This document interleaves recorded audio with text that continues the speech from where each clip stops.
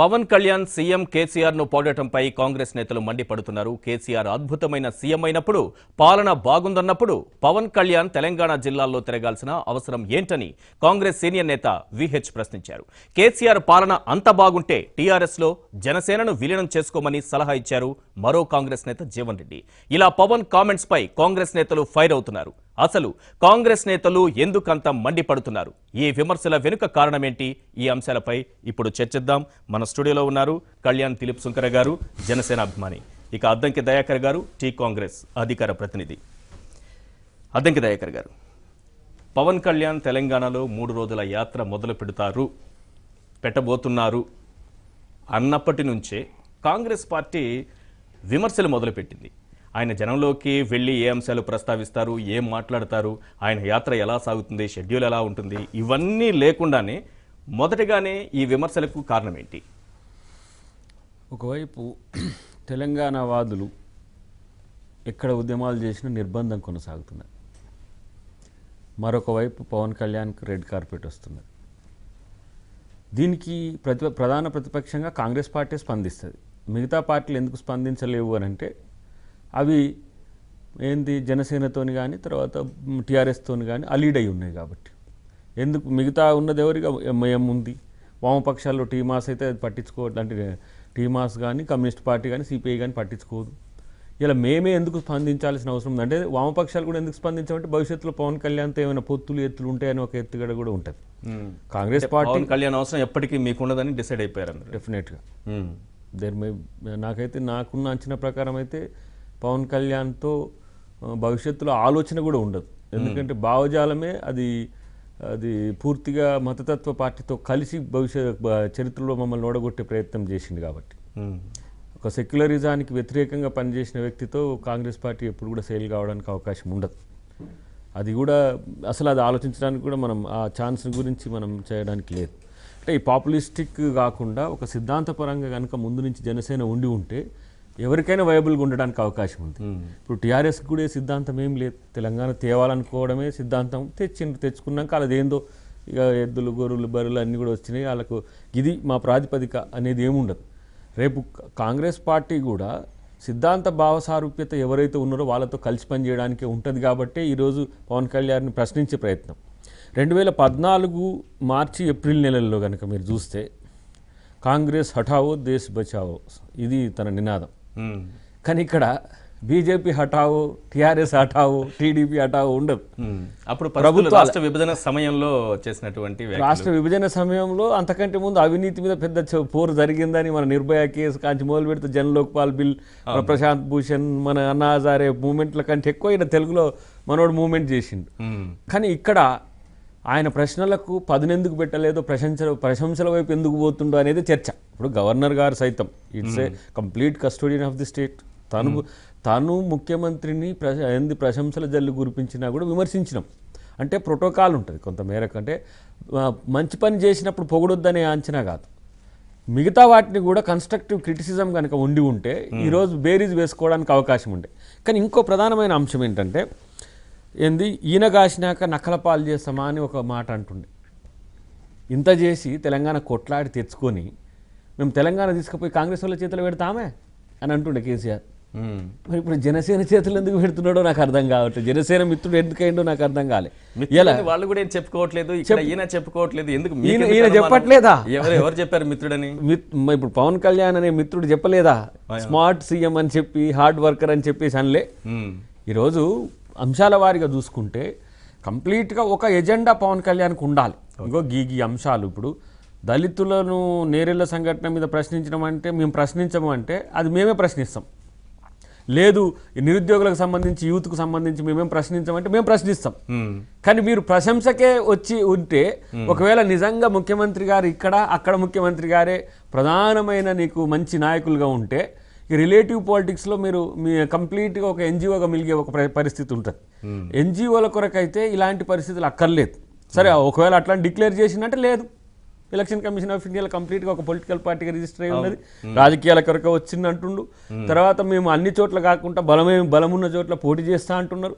ఇలాంటి పరిస్థితుల్లో నేనైతే నేను చూసే దృష్టికోణం యాజ్ ఏ ఒక ఒక కామన్ మెన్గా బీజేపీ ప్రేరితమైన రాజకీయాల నుంచి వచ్చిన తర్వాత చంద్రబాబు కంప్లీట్గా ఒక ఒక నమ్మకమైన మిత్రునిగా ఉండి ఇక్కడ కూడా చంద్రశేఖరరావు గారికి నమ్మకమైన మిత్రుడిగా మారిండు. రెండు రాష్ట్రాల్లో ఇప్పుడు తెలంగాణ సెంటిమెంట్ లేదు ఆంధ్ర సెంటిమెంట్ లేదు.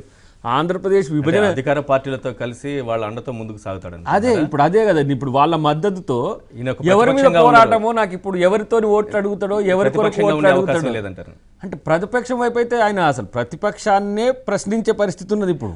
అధికార పక్షాలను అయితే ప్రశ్నించినప్పుడు అయితే రెండు ఇక్కడ ఒకటి మనం కొంచెం డెమోక్రటిక్గా ఆలోచిస్తే అయితే ప్రభుత్వం వైపు ఉండాలి లేదంటే ప్రతిపక్షం వైపు ఉండాలి.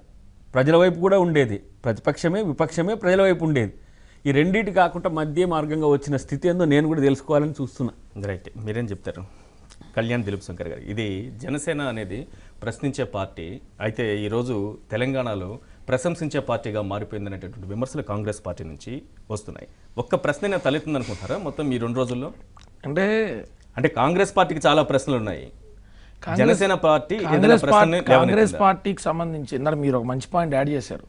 అసలు ఇంకా ఎందుకు వెళ్తున్నావు ఏం మాట్లాడుతున్నావు తెలియక ముందు రోజు రాత్రి నుంచే కూడా వీళ్ళు ఎందుకు అలా చేశారా అని చెప్పి ఒకసారి రివ్యూ చేసుకుంటే ఇందులో న్యాయం ఉందనిపించింది నాకు. ఎందుకంటే అంటే అందరి గురించి మాట్లాడుతుంది దాని కనెక్షన్ ఏంటన్నది బట్ తక్కువ టైం ఉంటుంది కాబట్టి బ్రీఫ్గా మన దయాకరణ తీసుకుందాం. తొంగతుర్తి కాన్స్టిట్యున్సీ అరవై రెండు వేల మూడు ఓట్లు అన్నాయి గెలిచినటువంటి అభ్యర్థి అరవై నాలుగు వేల మూడు వందల ఎనభై ఆరు. ఆ రెండు వేల ఓట్లు పవన్ కళ్యాణ్ గారు వాళ్ళు పోయినటువంటి బాధ అయితే అన్నది. అట్లాగే మిత్రులందరిది కూడా అలాగే మిత్రులందరిది కూడా జీవన్ రెడ్డి అన్నది. కానీ ఇంకొకళ్ళు కానీ ఇంకొకళ్ళు కానీ ఈ రకమైనటువంటి బాధ ఉన్నది. ఇది ఖచ్చితంగా ఒప్పుకొని తీరాల్సినటువంటి అంశం. అందుకే పాపం వాళ్ళు ఓడిపోయారనేటువంటి బాధని వ్యక్తపరచుకోవడం లేదు తప్పలేదు కానీ దాన్ని డైరెక్ట్గా అలా చెప్పలేరు కాబట్టి దాన్ని ఈ రకంగా చూపించాలనేటువంటి ప్రయత్నం అయితే చేస్తున్నారు. అధికారంలో ఉన్న పార్టీ పట్ల అనవసరమైన వ్యతిరేకతను ఏర్పరచుకోవడమే రాజకీయ సూత్రం కింద అక్కడ ఉండేటువంటి వైసీపీ కానీ ఇక్కడ ఉండేటువంటి తల్లి కాంగ్రెస్ అనేటువంటి తెలంగాణ కాంగ్రెస్ కానీ వీళ్ళు ఇది ప్రజల్లో తీసుకెళ్ళే ప్రయత్నం చేసి వైఫల్యం చెందుతున్నారు. బియ్యంలో రాళ్ళు ఎరచ్చగానన్నా రాళ్ళు కుప్పలో బియ్యం గింజలు ఇసిరి వాటిని మనం ఎతకమంటే అట్ట ఇప్పుడు ఇలా సబ్జెక్ట్ ఎట్లా ఉంటుందంటే టీఆర్ఎస్ చేస్తున్న ఏ మనిషి ఏ మంచి గురించి టీడీపీ చేస్తున్న ఏ మంచి గురించి అక్కడ ఎవరం కనీస కితాబ్ ఇవ్వకూడదు. ఇచ్చినామా తోక పార్టీ లేక పార్టీలు అయిపోతాం అరే ఇప్పుడు ఇంకా మా పార్టీ నిర్మాణంలో ఉంది. పార్టీ అధినేత తన అభిప్రాయాన్ని విలేకరులు అడిగినప్పుడు యాజ్ ఆన్ డేట్ ఉన్నటువంటి కంటిజెన్సీస్లో ఉన్నటువంటి ఇబ్బందుల్లో అక్కడ ఆయన కానీ ఇక్కడ ఈయన కానీ దే డూయింగ్ దర్ గుడ్ అని చెప్పారనుకో అందులో పూర్తే ఉందన్న. ఖచ్చితంగా పొద్దున్న లేవగానే న్యూస్ పేపర్ చదివి టీ కాంగ్రెస్ మిత్రులు కానీ సోదరులు కానీ సీనియర్ నాయకులు కానీ ఆ మీడియాలో వచ్చేటువంటి కథనాల మీద ప్రతినిత్యం సాయంత్రం మళ్ళీ దాని మీద రాద్ధాంతం చేసి అలా చేయని ప్రతి ఒక్కరికి కూడా కల్వకుంట్లని ఇంటి పేరు పెట్టుకోమని స్వ- స్వయాన గౌరవనీయులైనటువంటి గవర్నర్ గారినే విమర్శించినటువంటి చరిత్ర వీళ్ళకి కాదని అడుగుతున్నాను. అంటే వీళ్ళకి ప్రజలు ఇచ్చినటువంటి మ్యాండేట్ మీద గౌరవం ఉండదు. ప్రభుత్వాల మీద గౌరవం ఉండదు. ప్రభుత్వ పెద్దల మీద ఉండదు. గవర్నర్ల మీద ఉండదు. ఎవరి మీద ఉండదు అంటే అధికారం అనే పరమావధి మీద ఉంటుందా? అసలు నిన్న జరిగిన డిస్కషన్ ఏమన్నా మాగరెట్ గారిపై టీఆర్ఎస్ వేసిందంటన్నా మేము ఏమడిగినా పర్మిషన్ ఇచ్చిన వాళ్ళు ఎవరికైనా సరే హేతుబద్ధంగా గుడి దర్శనం చేసుకుని కొత్త రాజకీయ పార్టీ ప్రస్థానం మొదలు పెట్టుకుంటా అంటే does any government have any authorities to say no వాళ్ళు మాకు జెట్ కేటగిరీ సెక్యూరిటీ పంపించిండ్రా? హెలికాప్టర్ ఇచ్చి పంపించిండ్రా? ఏం చేశారని? మాకు రెడ్ కార్ పడేయడానికి. ఇక టీజేఎస్ కోదండరామ్ గారిని అరెస్ట్ చేసినటువంటి అంశం అంటే అది ప్రభుత్వానికి ఆయనకి సంబంధించిన అంశం అది. రైట్ భానుప్రసాద్ గారు ఎమ్మెల్సీ టీఆర్ఎస్ నాయకులు మనకు ఫోన్ లైన్లో అందుబాటులో ఉన్నారు. భానుప్రసాద్ గారు ఈ జనసేన పార్టీకి టీఆర్ఎస్కు మధ్య ఒక చీకటి ఒప్పందం కుదిరిందని కాంగ్రెస్ పార్టీ ఆరోపిస్తోంది. అంటే వాళ్ళకు అది మామూలుగా అలవాటు కాబట్టి కాంగ్రెస్ పార్టీ అనేక సందర్భాల్లో అనేక ఎన్నికల్లో అనేక పార్టీలతో చీకటి ఒప్పందం చేసుకున్నటువంటి అనుభవం ఉంది కాబట్టి ఆ రకమైనటువంటి మాటలు మాట్లాడటం సహజమే. కాంగ్రెస్ పార్టీ ఎప్పుడెప్పుడు ఎవరెవరితో చీకటి ఒప్పందాలు చేసుకున్నదని చెప్పమంటే నేను దయాకర్ గారి కంటే కూడా బాగా చెప్పగలుగుతాను. ఎందుకంటే ఆ పార్టీలో నాకు చాలా ఇది ఉన్నది కాబట్టి నేను నేను ఎక్కువ కాలం పార్టీ చెప్పే చెప్పు ఆ చీకటి ఒప్పందాలు మేము కూడా తెలుసుకోవాలి. నేను నేను నేను ఎక్కువ చెప్పగలుగుతాను. ఎప్పుడు చెప్పు. సో చీకటి ఒప్పందాల గురించి మాట్లాడటం అనేటువంటిది వాళ్ళకు కామెంట్ వేగ చేయడం కాదు. చెప్పు. ఏ చీకటి ఒప్పందం ఒప్- ఒప్పుకొని కేసీఆర్కి తెలంగాణ ఇచ్చినాం. ఏ చీకటి ఒప్పందం ఒప్పుకొని ఇలా మేము మిగతా మా పక్షాలను ఇప్పుడు జిగ్నేషనో లేకపోతే అల్పేషనో ఇంకెవరితోనో ఒప్పందం పెట్టుకున్నాం. యూపీఏ భాగస్వామ్య పక్షాలు ఏ చీకటి ఒప్పందాలు? కమ్యూనిస్టులైనా తర్వాత వచ్చిన పక్కన ఉన్న కరుణానిదైనా నాకు నేను తెలుసుకోవాలి మీరు సీనియర్ కాంగ్రెస్ నాయకులు? కాబట్టి. కరుణానిధితో ఏ చీకటి ఒప్పందం చేసుకున్నారు అనేది ప్రపంచానికి తర్వాత తెలిసిపోయింది. ఇక ఏడి అది? ప్రపంచానికి తెలిసిపోయింది చీకటి ఒప్పందం చేసి చెప్పరా అదే ఎవరు జనం వింటారు నీ నీ నోటితో తెలియదు కదా అందరికి తెలిసిపోయిన విషయమే కదా. వాళ్ళు చెప్తే ఏ ఫైల్ మీద పెడితే ఆ ఫైల్ మీద సంతకం చేయాలని ఒప్పందం చేసుకున్నారు. మనకు. అవసరం లేదు. మనకు ఏది అవసరం లేదు. వాళ్ళు ఏ ఫైల్ మీద చెప్తే ఆ ఫైల్ మీద సంతకం చేయాలని చెప్పి చేసుకున్నారు. అదే చీకటి. మన్మోహన్ సింగ్ లాంటి మన్మో- మన్మోహన్ సింగ్ లాంటి నాయకుడిని ఒక ఒక మంచి క్రెడిబిలిటీ ఉన్నటువంటి నాయకుడిని ఏమీ లేకుండా చేసేసారు ఏమి లేకుండా అంటే ఆ క్రెడిబిలిటీ పోయే భారత ప్రజల ముందు ఎంత ఒక వంద సంవత్సరాలు మన్మోహన్ సింగ్. గారిని ప్రధానమంత్రి చేసేది ఉంటే మా క్రెడిబిలిటీ నిలబడేదా? వంద సంవత్సరాల పాటు మన్మోహన్ సింగ్ గారిని ఏంది ప్రధానమంత్రిని చేసేది ఉంటే మా క్రెడిబిలిటీ ఆయన నిలబెట్టినట్టుండే మన్మోహన్ సింగ్ గారితో ఇటువంటి సంతకాలు పెట్టియకపోతే మీ క్రెడిబిలిటీ నిలబడి ఉండే ఏది? ఏ సంతకం? ఏది టూ జీ కానీ కోల్ కానీ ఇంకోటి ఈజీగా బయటపడిపోతుంది? టూ జీ స్కామ్ లేదని చెప్పి కోర్టే చెప్పే. బొగ్గు స్కామ్ క్లీన్ చిట్ బయటపడి. ఓ, టూ జీ స్కామ్ ఉన్నది అనేది లేనిది అనేది ఎవరు సరేలే కానీ సరే జనసేన గురించి చెప్పి కానీ ఇక్కడ అక్కడ ఆధారాలు లేవు కానీ ఎప్పుడు ఎప్పుడు ఏ స్కామ్ కొరకు ఆధారాలు ఎందుకు లేవు? వాళ్ళతో చేసుకున్నారు కాబట్టి. టూ జీ స్కామ్లో ఎవరు ముద్దాయి? చీకటి ఒప్పందం వాళ్ళతో చేసుకున్నారు కాబట్టి ఉన్నది. మీతో కాదు. కాబట్టి సుప్రీం ఉన్నది. కోర్టు ఇప్పుడు అయితే మీతో సుప్రీం చేసుకున్నారు కోర్టు అయితే ఎవరు. ముద్దాయి కాదన్నాడు. భాను ప్రసాద్ ఎవరినైనా ముద్దాయిని చేస్తా అంటే భాను ప్రసాద్ గారు ఎవరి ముద్దాయి అయినా కానీ స్కామ్ అయితే జరిగిందా లేదా? స్కామ్ జరిగితే కాంగ్రెస్ ఆధారాలు కదా. అరే మీరు మర్డర్ జరిగిందని ఆరోపణ చేస్తున్నావు నువ్వు. విన్నావా? నాకు గడ కాలక పడదని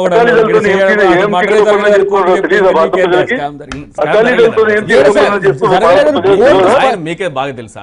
స్వయంగా మాట్లాడితే స్వయంగా ఆర్టిఫిషియల్ దాన్ని క్రియేషన్ వల్ల వచ్చిందని చెప్పేసి సాక్ష్యాలు చూపించమని జడ్జి పదే పదే పదే వాళ్ళు ఎవరిని ఎవిడెన్స్. చూపించింది. ప్రాసిక్యూషన్ బీజేపీనే కదా ఇప్పుడు? సిబిఐ రీట్రేట్ చేసింది కదా? రైట్ ఓ కమిటీ చేసి సరే నేను దాంట్లో ప్రజలకు తెలుసులే కానీ మీరు. జనసేనకు రండి బన్ప్రసాద్ గారు.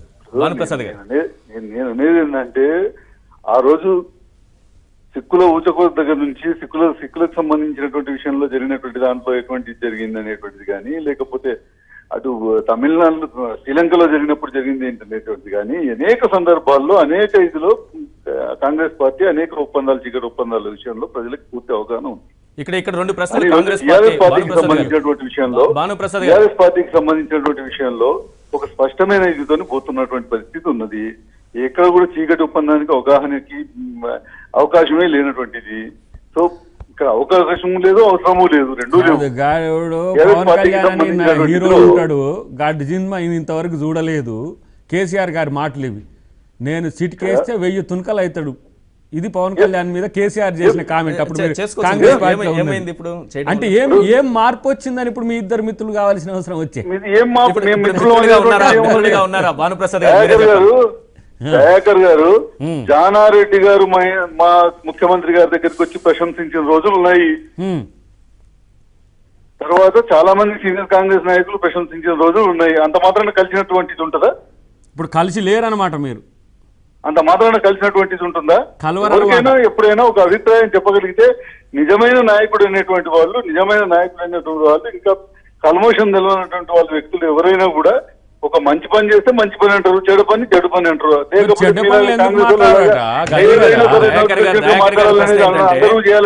చెడ్డ పనులు అనేవి లేవా ఈ ప్రభుత్వంలో? మీరు అది చెప్పదలుచుకున్నారా? ఇక్కడ దయాకర్ గారి ప్రశ్న ఏంటంటే దయాకర్ గారి ప్రశ్న ఏంటంటే ప్రశ్నించే పార్టీగా ఉండాల్సినటువంటి జనసేన పార్టీ ప్రశంసించే పార్టీగా ఎందుకు మారిపోయిందని అడుగుతున్నారు. ఇప్పుడు ప్రశంసించేటువంటి విషయం ఆయన విద్యుత్ ట్వంటీ ఫోర్ అవర్స్ ఇవ్వడం అనేటువంటిది ప్రశంసించేటువంటి విషయం. ప్రశంసించాడు. ప్రశ్నించేటువంటి వాటి మీద ప్రశ్నించడు కావచ్చు ప్రశ్నించకపోవచ్చు అది ఆయన ఇష్టం. మాకు సంబంధం లేని అంశం. ఆయన ఏ దేని మీద ప్రశ్నిస్తాడు అనేటువంటిది మాకు సంబంధం లేని అంశం. ప్రశ్నించిన రోజు జవాబు చెప్తాం. కానీ ఈ రోజు ఆయన ప్రశంసించిన దాన్ని మీకు మొత్తం వాళ్ళంతా మండిపోతుంది అది చూస్తే మాకు. అంతే కదా యూత్ యూత్ని ఈ రోజు మీరు అట్రాక్ట్ చేసుకోవడానికి పవన్ కళ్యాణ్ యూత్. లో అన్రెస్ట్ ఉన్నది ఉద్యోగాలు ఇవ్వలేదు తెలంగాణ అంతా ప్రభుత్వం అనేది. ఉన్నది ఇరవై నాలుగు గంటల పవన్ కళ్యాణ్ నోట. రేపైన ఉద్యోగాల గురించి వస్తే నిజంగానే వాడు మొగాడ్ర బుజ్జి అనొచ్చు మనం. యూత్ అనేది అన్రెస్ట్లో ఉంది ఉద్యోగ కల్పన ఏడు సంవత్సరాల నుంచి లేదు ఉద్యమ కాలంలో మేమే ఉద్యోగాలు వద్దు ఇప్పుడు అని చెప్పేసి ఆపిన నోటిఫికేషన్స్ ఉన్నాయి. ఇప్పుడు మూడున్నర సంవత్సరాల నుంచి ఉద్యోగాలు లేక బజార్న పడుతున్నది యూత్. మహిళలు అయితే పాటలు పాడుకుంటూ ఉన్నారు. వాళ్ళకు సంబంధించి జనం కష్టాల గురించి నాయకుడు ప్రశ్నిస్తాడా? సుఖ సంతోషాల గురించి వెలాఫ్ అను అని చెప్పి ప్రశ్న ప్రశంసిస్తారా? అసలు నాయకులు ఏ- తరహా పేదోడు వంద మంది ఉంటే తొంభై తొమ్మిది మంది కడుపు నిన్నా ఒక్కని కొరకు పోరాడేటువంటి నాయకుడు. ఇలా మీరు ఏ నాయకులుగా ఉండ కడుపు నిన్నోని వైపు ఉండే నాయకుడిగా పవన్ కళ్యాణ్ ఉండాలనుకుంటుండా? నీ ఎలా కడుపు ఎండినోని వైపు ఉండాలనుకుంటారు వాళ్ళు తేల్చుకుంటారు. వాళ్ళు మేము పవన్ కళ్యాణ్ మీద విరుచుకోపడుతుంటే వారికి కూడా సమస్య అవుతుంది. మ్మ్. టీఆర్ఎస్ వాళ్ళకు. అదేందో కడుపు నాకేం అర్థం కాలే. నాకేం సమస్య లేదు. నేను ఇప్పుడు మీరు పవ- పవన్ కళ్యాణ్ గారి నుంచి ఇన్ని మాటలు మాట్లాడితే నేనేం మాట్లాడలేదు. నాకేం అవసరం లేదు. ఆహా మీరు మీరు వారి గురించి మాట్లాడినప్పుడు మీరు ఎందుకో కాంగ్రెస్ వాళ్ళు ఇంతకు ముందు అంటే కదా. వాళ్ళు చెప్పేసి మీరే ఒక లిస్ట్ ఏమన్నాను? ఆయన ప్రశంసించింది కేవలం పవర్ మీద. పవర్ మీద ప్రశంసిస్తే మీకు ఎందుకు మంట అవును మండుతుంది? పవర్ మీద ప్రశ్న ఇచ్చినప్పుడు మేము కూడా పవర్ మీద చెప్పినాం. కూడా అన్నారు. పవర్. మీద మేము ఏమన్నాం? పవర్ అక్రమం అక్రమంగా జరిగింది. పద్దెనిమిది రూపాయలకు పదిహేడు రూపాయలకు పదకొండు రూపాయలకు ఏడు రూపాయలకి ఇట్లా డిస్ ఇష్టానుసారంగా కొన్నారు. ఒక్క యూనిట్ ఉత్పత్తి మీరు చేయకుండా. ఎక్కడి నుంచి తెచ్చిండ్రు అని మేము అడిగినాము. మీరు రానే రాలే భాను ప్రసాద్ గారు కూడా ఉన్నట్టుంది ఆ టీంలో ఏది సవాళ్ళు ఇప్పుడు టీంలో. కేసీఆర్ గారు ఏదో అనగానే కథం వెనకకు పడేసి మొత్తం సవాల్ లేదు ఏం లేదు. కాదు, అవసరం లేదు కదా. ఉత్తమ్ కుమార్ రెడ్డి గారు వస్తే వస్తాము. మేము ఇక జానారెడ్డి గారు వస్తే వస్తామని. అదే దొంగ తీసుకొచ్చి మాట్లాడటం కాదు కదా. మీరు రండి. ఇప్పుడు. వస్తారా భాను ప్రసాద్ గారు లేకపోతే? అసెంబ్లీలో మాట్లాడదాం. అసెంబ్లీలో అయిపోయింది అది, కాదు. అసెంబ్లీలో పవన్ కళ్యాణ్ మాట్లాడితే అసెంబ్లీలోనే నేను ప్రశ్న మాట్లాడు అడిగిన కదా వినండి. మీరు ప్రశ్న అడిగినప్పుడు వినండి మీరు. నేను ఏం చెప్తున్నా అంటే దయాకర్ గారు చెప్పండి. మీ దగ్గర ఏ పలానా డేట్ నాడు పలానా రేటు కొన్నారు? పలానా కంపెనీ నుంచి కొన్నారు? ఆ ఆధారం ముందు పెట్టండి దాన్ని నేను వచ్చి మాట్లాడకపోతే. ఎస్ డెఫినెట్గా ఒకవేళ నువ్వు ఇప్పటికీ ఆ ఛాలెంజ్ మీద ఉన్నా? రేపు మార్నింగే పెడదాం మనం. ఏబిఎన్లోనే పెడదాం నీకు నేను లో డీటెయిల్స్ ఇస్తా. ఏ ఏ రకమైన ఒప్పందాలు ఛత్తీస్గఢ్లో ఉన్నాయో చెప్తా ఏది కంపెనీ నుంచి- సండూరులో సరిగా ఇవి కంపెనీ పేర్లు వద్దు కానీ ఎవరు ఏ నాయకుల దగ్గర ఎంత కొన్నారు? మీరు ఎందుకు? కొన్నారో చెప్పే పరిస్థితి నేను? ఏబిఎన్? తెచ్చిస్తా లేకపోతే కాదు ఇప్పుడైతే ఇది. ఏబిఎన్ సవాలు ఏబిఎన్కి సంబంధించిన సవాలు నేను ఎవరు ఈశ్వర్కి తెచ్చిస్తా గీడ తర్వాత మీరు సమాధానాలు ఏబిఎన్కి వచ్చి చెప్పండి చెప్పగలుగుతారేమో మీరు ఆలోచించుకోండి తప్పకుండా. అలాంటి అక్రమాలు జరిగిన దాంట్లో నీకు తెలియకుండా ఎందుకు మాట్లాడినావా పవన్ కళ్యాణ్? నువ్వు ఇరవై నాలుగు గంటల ఉచిత విద్యుత్ వద్దు. పన్నెండు గంటలు కావాలి సార్ అని చెప్పి మేము అంటున్నాం. రాదు పాపం ఈ అడ్డతిట్టం తిట్టం పో- ఏది లేకుండా ఆధారం లేకుండా ఏం ఆధారాలు ఉన్నాయా నీ దగ్గర. మా దగ్గర ఉన్నాయి నీకేం తెలుసు? నా దగ్గర ఉన్నాయి నీకేం తెలుసా? కాదు నా దగ్గర ఉన్నాయి నీకేం తెలుసు? చూపెట్టు నువ్వు రా మరి. ఎక్కడో కూర్చొని ముచ్చట్లు ఎందుకు చెప్తారు మీరంతా? మొన్న మొన్న ఏం చేసినావు మరి? మొన్న ఏం చేసినావు? తోక ముడిచిపోయింది ఎందుకు మొన్న? నేను పూడ్చిపోలేదు. ఆ, మరి ఏం చేసినావు నువ్వు మొన్న? చెప్తా మీ మీ ఎవరిని ఉత్తమ్ కుమార్ రెడ్డిని రమ్మను ఎక్కడికంటే అక్కడికి అరే. కేసీఆర్ రమ్మను? నువ్వెందుకు మరి కేసీఆర్ రమ్మను? What way you are connected to the PCC president అసలు నీకు ఆయనకు సంబంధం ఏంటి పిసిసి పిసిసి ప్రెసిడెంట్ వస్తే ముఖ్యమంత్రిని రమ్మను లేకపోతే జగదీశ్వర్ రెడ్డిని రమ్మను. మీరెవరు? మీ కేసీఆర్ రమ్మను. ఎవరు? మాకో కేసీఆర్ ఉండా? కాదు మీకు అంటే మీకు సెంట్రల్ వాళ్ళు కావాలి. నచ్చలో రాహుల్ గాంధీ రప్పిద్దాం రమ్మని కేసీఆర్ ఒప్పుకుంటామని చెప్పు. ఒప్పి ఒప్పి నీకు దమ్ము ఉంటే కేసీఆర్ ఒప్పి నీ రాహుల్ గాంధీని ఎప్పుడో డేట్ పెట్టి మేము రప్పిస్తాం. అరే మీరు నువ్వు పెట్టు డేట్ పెట్టు. నీకు ఆ దమ్ము ఉంటే పెట్టు డేట్. నువ్వు ముఖ్యమంత్రితో చెప్తే నేను రాహుల్ గాంధీని ఇక్కడికి రప్పిస్తా పో. రాహుల్ గాంధీ సమయం నేను. తీసుకొని రిక్వెస్ట్ చేశానని రప్పిస్తా. నీ రేంజ్ రాహుల్ గాంధీ అయితే ఎస్ రాహుల్ గాంధీ ప్రజల కొరకు నేడబారిన పడడానికి కూడా ఉంటారు.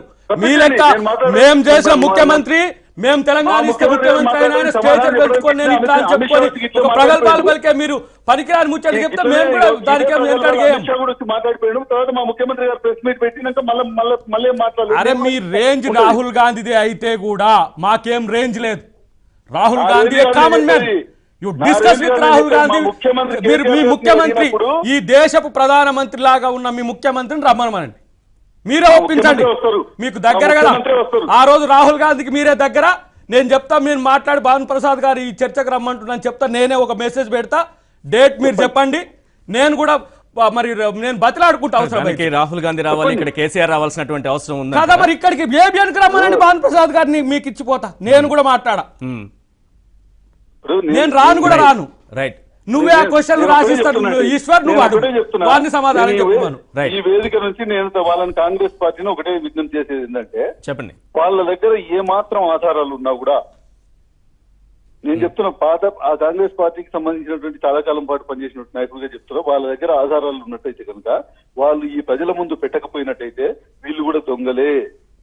అంటే మీరు దొంగలని ఉన్న ఆధారాలు ప్రజల ముందు దొంగలని ప్రజలు అవినీతి ఎవరైనా చేసినట్టయితే అవినీతి ఎవరైనా చేసినట్టయితే ఆ అవినీతికి సంబంధించినటువంటి ఆధారాలు వీళ్ళ దగ్గర ఉన్నట్టయితే ఇది అసెంబ్లీలో చర్చ అసెంబ్లీలో మీరు చర్చ పెడితే వినండి, గారు.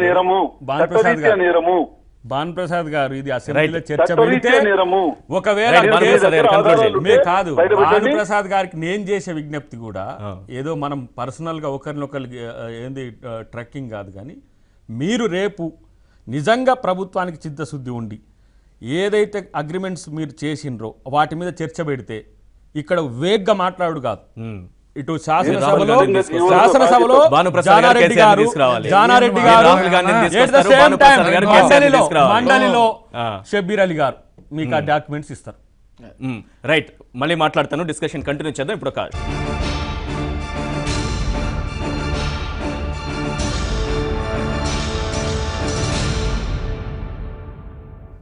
Welcome back. కళ్యాణ్ గారు. అజ్ఞాతవాసి సినిమాకి ప్రీమియర్ షోలకి పర్మిషన్లు ఇచ్చినందుకు ఆయన స్మార్ట్ సీఎం లేకపోతే హార్డ్ వర్కర్ అంటూ మీరు ప్రశంసించింది. కారణం ఏంటి? ఏ ఏ బేసిస్ మీద మీరు ప్రశంసించారో చెప్పండి అని కాంగ్రెస్ పార్టీ ఈరోజు ప్రశ్నిస్తోంది. అదే అన్నాను సార్ ప్రజలు చాలా విజ్ఞులైపోయారు. మీ మీడియా దయ వల్ల సోషల్ మీడియా దయ వల్ల ప్రజలు చాలా విజ్ఞులైపోయారు. ఇంత ముందులాగా గుడ్డ కాల్చి ముఖం మీద వేస్తే ప్రజలు ఆ మసి చూసే పరిస్థితి లేదు. దాని వెనకాల కారణం మాత్రమే చూస్తున్నారు.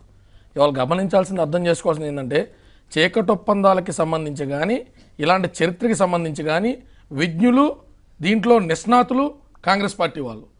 ఇవాళ టీఆర్ఎస్ సంబంధించినటువంటి ముఖ్యమంత్రిని విలీనం చేసేస్తారనేటువంటి అతి ఉత్సాహంలో బిజినెస్ క్లాస్ ఫ్లైట్ టికెట్లు వేసి మరి ఢిల్లీ కుటుంబంతో సహా పిలిపించుకుని అప్పుడేమో ఈయన బెంగళూరు అయ్యంగార్ బేకరీ కేక్ అని చెప్పి మాట్లాడి ఆ తర్వాత ఆయన ఇక్కడికి వచ్చిన తర్వాత ఆయన రాజకీయం చేసుకుంటే ఆయన మేక మాదిరి చేశారు. వీళ్ళు ఏదైతే విమర్శలు చేస్తారో వీళ్ళ కాంగ్రెస్ ఆఫీస్ నుంచి ఏదైతే వస్తుందో ఆ యాజ్ ఇట్ ఈ స్క్రిప్ట్ని జనసేన చదవాలి గవర్నర్ చదవాలి ఏ పార్టీ అని చదవాలి. చదవకపోతే చీకటి ఒప్పందాలు ఫ్లడ్ లైట్ ఒప్పందాలు వెలుతురు ఒప్పందాలు జరిగినట్టు. మేము ఆ రోజు స్పష్టంగా పవన్ కళ్యాణ్ గారు ఈ రాష్ట్రంలో ఉంటూ ఈ రాష్ట్రంలో మా పార్టీ నెలకొల్పుకుని నిర్మాణం చేసుకోవాలనుకున్నప్పుడు అదొక చక్కటి విధానం కింద ఆ రోజు ముఖ్యమంత్రి గారిని న్యూ ఇయర్ ఆంగ్ల నూతన సంవత్సరాన్ని పురస్కరించుకుని శుభాకాంక్షలు తెలపడానికి వెళ్ళారు. బయటకు వచ్చేటప్పుడు మన మీడియా మిత్రులు అడగగా ఆయన ఒక చిన్న వ్యాఖ్యానం చేశారు. నేను చాలా ఆందోళన పడ్డా. ఆయన ఏంటి సార్? మన ఎవరు ఆందోళన పడలేదా? కిరణ్ కుమార్ రెడ్డి గారు చెప్పలేదా? పవన్ కళ్యాణ్ గారు ఒక్కళ్ళు అందులో మినాయింప ఆంధ్ర మొత్తం తెలంగాణ చీకటమయం అయిపోతుందని అప్పుడు వేల కాంగ్రెస్ సంబంధించినటువంటి ముఖ్యమంత్రి వారిలే కితాబ్ ఇచ్చారు మరి వాళ్ళు చీకటి అవ్వలేదే? ఇవాళ అంధకారంలోకి వెళ్ళలేదే? చాలా బెటర్గా నడుపుతున్నారు కాబట్టి దాని కజీనిసం చెప్పకూడదా? పవన్ కళ్యాణ్ గారు రాజకీయాలు వద్దు సార్. అజ్ఞాతవాసి సంబంధించి ప్రీమియర్ షోస్ అడిగారు అనేటువంటిది ఇది ఎందుకు అభూత కల్పన దానికోసం వెళ్ళి దీన్ని బయట? ప్రొడ్యూసర్ ఎవరైతే రాధాకృష్ణ గారు ఉన్నారో ఆయనకి ఆల్రెడీ తెలంగాణకు సంబంధించి సినిమాటోగ్రఫీ మంత్రితో పర్మిషన్లు తీసుకోవడం జరిగిపోయింది. అది డిసెంబర్లో జరిగిపోయినటువంటి పర్మిషన్లకి జనవరి ఒకటో తారీఖు వెళ్ళి thank you very much sir thanks for giving five shows అని చెప్తారా? ఇద్దరు ఒక పార్టీ అధినేత ఒక ఒక ఉద్యమ పార్టీ నాయకుడు ప్రజెంట్ సీఎం దగ్గరికి వెళ్ళి సినిమాల గురించి మాట్లాడుకుంటారా సార్ అదేంటి అంత వెలుతురులో అందరి ముందు పబ్లిక్గా వీడియో బయటకు వచ్చింది. శుభాకాంక్షలు తెలియజేశారు. పూల బుక్కలు అందిపుచ్చుకున్నారు బయటకు వచ్చారు. ఇందులో చీకటి ఒప్పందాలు వెలుతురు ఒప్పందాలు ఏం లేవు సార్ కేవలం వీళ్ళకి మళ్ళీ పవన్ కళ్యాణ్ గారు వస్తే ఇక్కడ పవన్ కళ్యాణ్ గారి పార్టీ ఏమాత్రం బలపడ్డా? ప్రభుత్వ వ్యతిరేక ఓటుని పొరపాటున మేం కానీ క్యాష్ చేసుకుంటాం అనేటువంటి ఆలోచన వీళ్ళు తప్ప వేరే రకమైన విధానం లేదు. అక్కడ వైసీపీ నిత్యం ఆమె కాలు దూవినా ఇక్కడ వీళ్ళ దూతున్నా ప్రభుత్వ వ్యతిరేక ఏదో మా బొట్లు వేసుకెళ్ళిపోతాం అనేటువంటి అభియోగం తప్ప ఇంకోటి లేదు. అధికార పక్షానికి ఎందుకు భయం కలగట్లేదు అనుకుంటున్నారు? అధికార పక్షానికి సంబంధించి భయం ప్రభుత్వానికే కదా ఇబ్బంది ఉంటుంది అధికారంలో ఉన్నప్పుడు ఎవరైనా ఎవరైనా ఉదాహరణకి తమ తమ బలాల గురించే మాడతారు తప్ప బలహీనతల గురించి ప్రస్తావించరు. రేపొద్దున జనసేన అధికారంలో ఉన్న నెక్స్ట్ ఎలక్షన్ మాకు పది సీట్లు రావని తెలిసిన టోటల్ సర్వేలన్నీ మాకు పాజిటివ్గా ఉన్నాయి. నూట పది నుంచి నూట పదిహేను మధ్య బెట్టింగ్లు జరుగుతున్నాయి. నూట పన్నెండుగా నూట పదమూడుగా వస్తాయని చెప్పుకుంటాం. అది సహజం. రాజకీయాల్లో ఆత్మవిశ్వాసం కనబరచడం సహజం. వీళ్ళు మరీ మితిమీరిన ఆత్మవిశ్వాసం. నేను చెప్తున్నాను కదా సార్ నిన్న పెద్దలు ఉత్తమ్ కుమార్ రెడ్డి గారు డెబ్బైకి పైచీలకు మాకు ఎట్టి బస్సులు తగ్గదని చెప్తారు. ఇలా బస్ యాత్రలు మాత్రం ఫిబ్రవరి నుంచి పెట్టుకోవచ్చు. ఎలక్షన్ పది నెలల ముందు బయటికి రావచ్చు. అంతకుముందు అంశాల మీద కాగితాలేకంగా సమస్యల పరిష్కారం లేని పోరాటాలకి ఇలా పురుగొల్పచ్చు. అలా పురుగొల్పినటువంటి పోరాటాలే రాజకీయపరమైన పోరాటాలని ప్రజలకు మేలు జరగకపోయినా పొలిటికల్ మైలేజ్ కోసం పోరాడుతూ అలాంటి పోరాటాలు మేము కూడా చేయాలని మాట్లాడుతూ అసలు ఈ ఉలికిపాటు చూసారా రాష్ట్రం ఏమని రాష్ట్రం గమనిస్తుంది సార్? పెద్ద పెద్ద సీనియర్ లీడర్ గారి రేవంత్ రెడ్డి గారు మొదలు పెట్టారు అక్కడి నుంచి ఉత్తమ్ కుమార్ రెడ్డి గారు అక్కడి నుంచి పెద్దలు అక్కడి నుంచి అంటే ఇదేంటి సార్ ఎట్టిపోతుంది ఎవరిని మేము కితాబు ఇవ్వకూడదా సార్ కొండను ఢీకోవడానికి ఎవరి కాళ్ళకి విధానాలు విధ- విధి విధానాలు డిఫరెన్స్ ఉంటుంది. ఇరు రాష్ట్రాల్లో ఉన్నటువంటి పొలిటికల్ పార్టీస్తో మేము వైరం ఎప్పుడు పెంచుకోవాలో వైరం పెంచుకోవాల్సిన ఆవశ్యకత ఉంటే ప్రజలకు ఎలా వివరించాలో ఏ రకంగా వెళ్ళాలో మాకంటూ స్ట్రాటజీ ఉండదా సార్? అంటే మాట కూడా ఎలా ఆడేస్తారా సార్ నాకు అర్థం కడుతున్నాను నేను. రైట్ భానుప్రసాద్ గారు జనసేన రెండు వేల పంతొమ్మిదిలో పోటీలోకి దిగితే ఎవరికి నష్టం టీఆర్ఎస్ కా కాంగ్రెస్ కా? ఒకటి ఈ ప్రజాస్వామ్య వ్యవస్థలో ఏ రాజకీయ పార్టీ అయినా పోటీ చేయొచ్చు. నిర్ణయిస్తారు. అల్టిమేట్గా కాంగ్రెస్. పార్టీకే ఎక్కువ నష్టం జరుగుతుంది కాబట్టి ఇంత గట్టిగా మాట్లాడుతున్నారు అంటున్నారు ఇక్కడ కళ్యాణ్ గారు. అంటే డెఫినెట్గా ఒక ఇది మాత్రం ఉంది. ఏంటంటే రోజు రోజుకు తగ్గుతున్నటువంటి కాంగ్రెస్ పార్టీకి ప్రజాదరణ తగ్గుతున్నటువంటి పరిస్థితులు చూసుకుని వాళ్ళలో ఒక ఆవేదన ఆక్రోశం చాలా పెద్ద ఎత్తున కనబడుతుంది. దాన్ని డెఫినెట్గా వాళ్ళకి ఏంటంటే వాళ్ళకు పోటీదారుని ఎదుర్కోవాలి కానీ ఏ పోటీదారునైనా సరే అది ఎవరైతేనే ఉంది ఏ పోటీదారుడైనా సరే సిద్ధమే. ఏ పోటీదారునైనా ఎదుర్కోవడానికి సిద్ధంగా ఉన్న- ఉండాలి కానీ రాజకీయాల్లోకి దిగనే కూడా దిగిన తర్వాత ఎవరైనా ఎదురుగా మన ఎదురుగా ఎవరు పోటీకి వచ్చినా ఎదుర్కొనేటువంటి దానికి రెడీగా ఉండాలి. ప్రజలు నొప్పించాలి ప్రజలను మెప్పించాలి ఆ విధంగా. అంతేగాని మనం కేవలం ఏదో గాలి గాలివాటం వచ్చినప్పుడు గెలుతాము లేకపోతే ఏదో గాలి వస్తే గెలుతాము అనేటువంటి నాయకులంతా తయారైతే కష్టమైపోతుంది. ఏంటి భవిష్యత్తు భయం ఏంటి కాంగ్రెస్ పార్టీకి? భవిష్యత్ కాంగ్రెస్ అడుగుతున్నాను. ఎవరు ఎవరు బలంగా ఉన్నట్టు ఈశ్వర్ గారు ఇప్పుడు? MIM TRS TDP BJP Pawan Kalyan. ఐదుగురా మమ్మల్ని కొడితానికి. ఎవరు బలంగా ఉన్నట్టు? మేమా? మాకు వెన్నులో వణుకు పుట్టేది. తెలంగాణ తెచ్చిండని ఏదో ప్రచారం చేస్తే ఇచ్చిన తర్వాత చేసిన గందరగోళానికి వచ్చిన వ్యతిరేకతను అడ్డుకోవడానికి వస్తున్నాడు పవన్ కళ్యాణ్. మళ్ళా తెలంగాణ నాయకుడు కూడా కాదు ఈయన తెచ్చుకుంటున్నది ఆంధ్ర నాయకుడిని తెచ్చుకుంటున్నాడు అరువు. అదే అంటున్నా ఈయన కాసినాక నక్కల పాలు చేయొద్దనేమో ఆ రోజు ఇచ్చిన కాంగ్రెస్ పార్టీ పాలు కావద్దట. పవన్ కళ్యాణ్ పాలు కావాలి ఇప్పుడు. పవన్ కళ్యాణ్ కనుక వస్తే వీళ్ళకి సహకరిస్తే వాళ్ళు ఓటు తీసుకొని చీల్చితే. ఈ నెగేషన్ ఓటుతో బతకాలనుకుంటే ఆంధ్ర నాయకుడిని అరువు తెచ్చుకుంటే గానీ టీఆర్ఎస్ బలంగా లేని బలంగా పరిస్థితులు లేని పరిస్థితులు ఉన్నాయి ఇప్పుడు? ఇగో తుమ్మల నాగేశ్వరరావు గారు ఉద్యమం లేని వారిని తెచ్చుకున్నారు. వాళ్ళకి బలం లేనట్టే. తలసాని శ్రీనివాస్ యాదవ్ గారిని బలం లేనని తెచ్చుకున్నారు. మా భానుప్రసాద్ గారిని కూడా తీసుకుపోయిండు. మా పార్టీ నుంచే కదా మాజీ ఆంధ్ర ప్రెసిడెంట్. శాఖ మంత్రి. దానికి ఒక సిద్ధాంతం లేదు. నాయకులు లేరు. ఏక్ నిరంజన్ ఆయన చుట్టూ అంతా అల్లుకున్న కుటుంబం దాని చుట్టూ అంతా వివిధ పార్టీల యొక్క సమాహారం. టిఆర్ఎస్కు ఎవరున్నారు నాయకులు? ఉద్యమాలు చేసిన వాళ్ళంతా ఇలా క్షేత్రంలో బలహీనపడి ఈరోజు అరో లక్ష్మణ ఉద్యోగాలు ఇవ్వాలని నా రైతు బతకాలని ఇలా తెలంగాణ ఎందుకు సంక్షోభంలో కూరిపోతుంది తెలంగాణ వచ్చినాక కానీ వాడు బాధలో ఉన్నాడు. కానీ నువ్వు సంతృప్తి చెందిన వాళ్ళందరినీ కడుపు నింపే. ప్రయత్నం చేసుకుంటూ మేము ప్రశ్నిస్తున్నాడు మాకు అసహనం వచ్చింది. ఏమైంది. మూడు సంవత్సరాలు ఆయన ఇవాళ డెబ్బై సంవత్సరాల పార్టీని వాళ్ళు కడుపు మంట అధికారం మీద రుచి చూడనట్టు. చలో. ట్వంటీ ఇయర్స్ అంటే తీసుకోండి దమ్ముంటే కాంగ్రెస్ పార్టీతో పోటీ పడి డెవలప్మెంట్ చేయండి మీరు. ఆ సత్తా ఉందా? మోడీ మూలిగే గుజరాత్లో. ఏడు ఏడు ఏడు సీట్ల దూరంలో నా నడి గడ్డ. నేను నేను నేను అభివృద్ధి చేసిన మోడే స్థితి వచ్చింది. మూడు సంవత్సరాలకే పిల్లలు సంతోషం లేస్తా ఉన్నాడు పవన్ కళ్యాణ్ అని ఎల్లయ్య అని మల్లయ్య అని ఎంతమందిని తెస్తావు? ఇంకా కాంగ్రెస్ పార్టీ నుంచి కూడా నాయకులు కావాలని ఇంకా కోరుకుంటూ తీసుకో. Congress party concept. Pawan Kalyan బలమైన నాయకుడిగా మీరు చూడట్లేదా? ఎల్లయ్య మల్లయ్య అట్లా మాట్లాడుతున్నారు. ఒక బలమైన నాయకుడిగా మీకేం కనపడట్లేదు నేను అట్లా అట్లా ఈశ్వర్ మీరు పవన్ కళ్యాణ్ ఉద్దేశించి కాదు నేను ఓకే. ఎవరినో కలగా కలగా పులగం చేసుకొని ఆయనతో ఇంత యాడిటివ్ పవర్ ఈయనతో ఇంత యాడిటివ్ పవర్ ఇంత బలమున్న ప్రభుత్వమే ఇంత development number one state in the India అయినప్పుడు నీకు వీళ్ళ సహకారం ఎందుకు అవసరం వచ్చింది? రైట్. ఆలోచించుకోవాల్సింది నాకేంది? నాకేం నష్టం లేదు తెలంగాణ ఇచ్చినా. సంతోషంగా అభివృద్ధి చేసుకుంటే మేము ఇంకా నెక్స్ట్ అయినా అధికారంలోకి వస్తాం. మాకేం కష్టం లేదు. కానీ మీరు చేస్తున్నదంతా మీ వ్యతిరేకతను ఇతర వ్యక్తులతో భానుప్రసాద్ చేసే గారు. ప్రయత్నం చేస్తున్నారని కదా. చాలా సంతోషం. దయాకర్ గారికి బహుశా కాంగ్రెస్ పార్టీలో ఉన్నటువంటి నాయకులందరూ ఎవరు ఎక్కడి నుంచి వచ్చిందని తెలియనట్టున్నారు.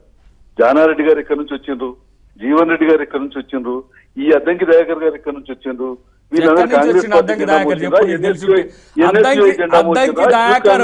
అద్దంకి- ఎక్కడి నుంచి వచ్చిందో నువ్వు కరెక్ట్? చెప్పినట్టు అనుకుంటా. అద్దంకి దయాకర్ ఎక్కడి నుంచి దయాకర్ వచ్చిందో గారికి చెప్పి. అర్థం అవ్వట్లేదు అద్దంకి అర్థమైందా? దయాకర్ ఎక్కడి నుంచి వచ్చిండు?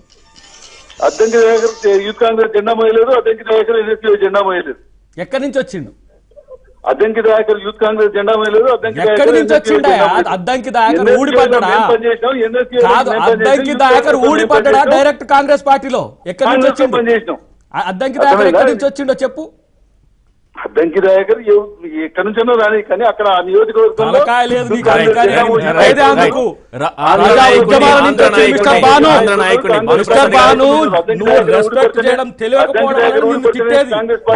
దయాకర్ ప్రజా ఉద్యమాల నుంచి వచ్చిండు. నువ్వు నీ నోరు రాకపోతే మేం పొగుడతాం విను.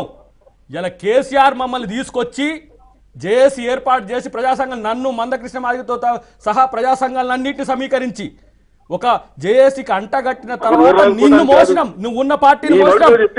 కాంగ్రెస్ పార్టీ కాంగ్రెస్ పార్టీ మమ్మల్ని పిలిచింది కాబట్టి వచ్చినాం. అదే మందకృష్ణను. అదే మందకృష్ణని ఇలా అరెస్ట్ చేసి జైల్లో పెట్టినావు. ఇది నీ రాజనీతి. నీకు. కాదు. నువ్వెక్కడి నుంచి వచ్చినావు టీఆర్ఎస్ పార్టీలకు? నీకెక్కడిది టీఆర్ఎస్ పార్టీ? ఇలా ఇక్కడ ఎమ్మెల్సీగా ఉన్నావు కదా. ఇక్కడ నుంచి అక్కడికి ఎందుకు పోయినావు? అక్కడ పోయి నీకే ఎమ్మెల్సీ ఎందుకు వచ్చింది? నీతో వచ్చిన వాళ్ళందరూ కూడా ఎందుకు లేరు? నీ ఏ చీకటి ఒప్పందానికి నీకు ఎమ్మెల్సీ వచ్చింది.